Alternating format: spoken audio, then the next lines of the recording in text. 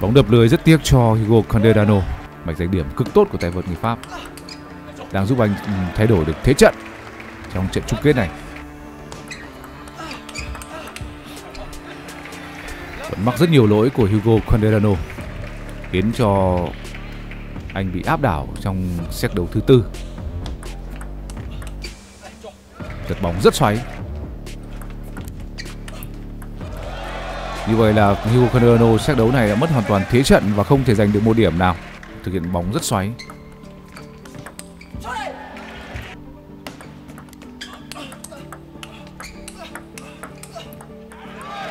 Và phản công không thành của Willis Lebrun.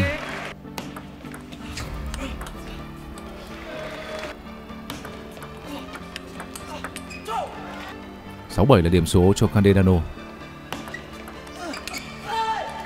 Tiếc cho anh bóng tiếp tục đập lưới.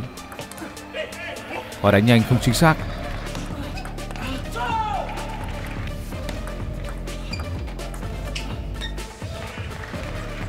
Tiếp tục là một pha giật bóng không chính xác của Felix Lapron.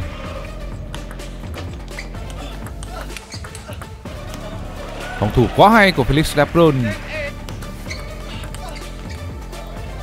Về vẻ bề ngoài thì Felix Lebrun và người anh trai Alexis Lebrun 20 tuổi, là những tay vợt có ngoại hình khá giống nhau.